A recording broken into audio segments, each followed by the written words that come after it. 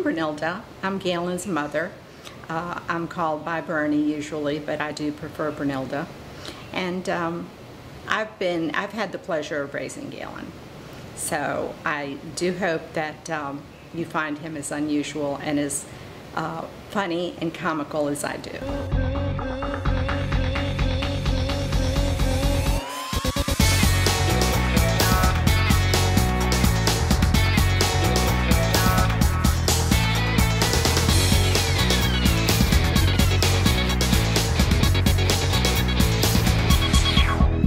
It's time to do an event, and it's called Fashion Night Out. It's being held at the Village of Merrick Park, which is located in Coral Gables. It's for Dress for Success.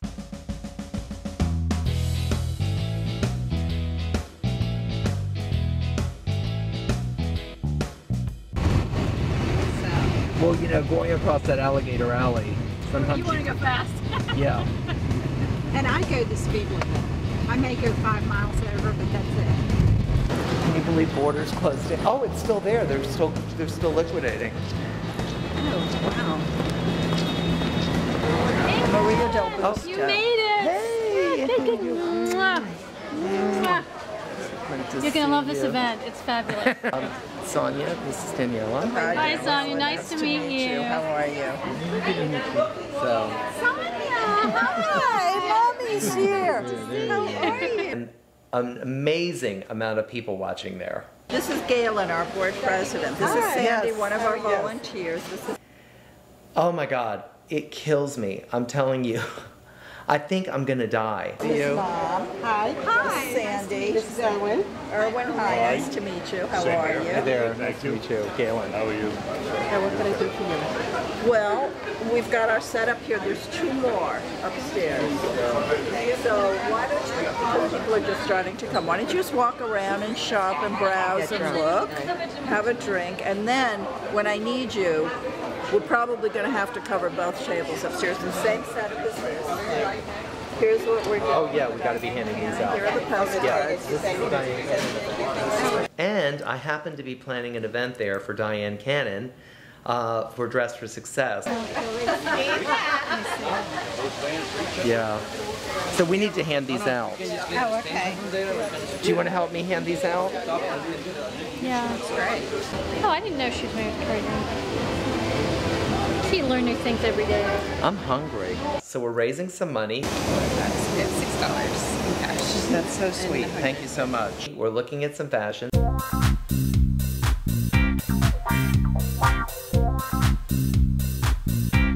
There's lots of food.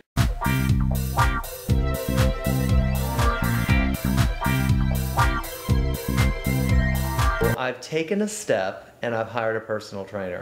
guava and cheese, strawberry, red velvet, and vanilla rum. Lots of cocktails.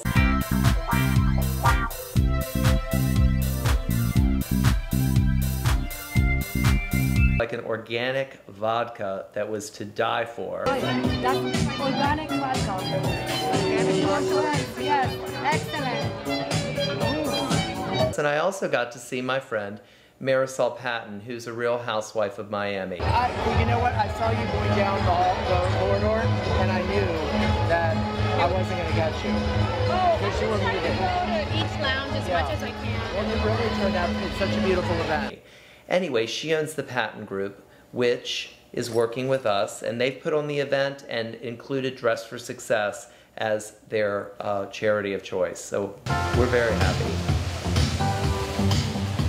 I have to go out to Miami International Airport because they're introducing a new people mover system that will take people, it'll shuttle people from the terminal upon arrival to the new ultra modern rental car uh, So we area. lost the film, and this, this is beautiful. I got to look in here yesterday. It's awesome.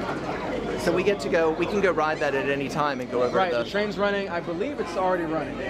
Okay. So, uh, All right, I'm excited. This is the new, the new Metro Mover. And this is a big deal for Miami because it's been a mess for a long time, and they've been going through an airport improvement that's taken 25 years. So I have to cover this because, after all, I am the sky steward, and I have to talk about things that make travel better.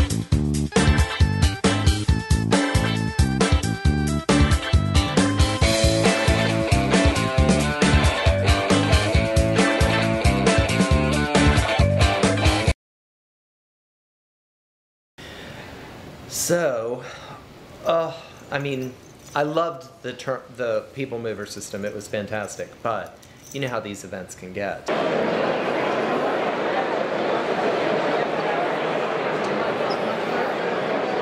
take your seats. It was um, there were all these people that I didn't even know.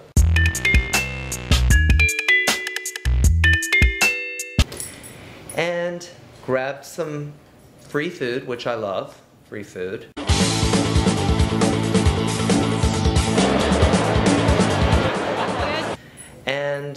Chit chatted, watched the color guard, Left, right, left. Left, right, left. uh, and then it was time to sneak out. They probably turned the train off so we can't leave. Yeah, it's working. That would be funny. So we snuck out, and luckily they kept the train running because it wasn't really open to the public yet. They kept the train running so we could hop on a train back to the terminal.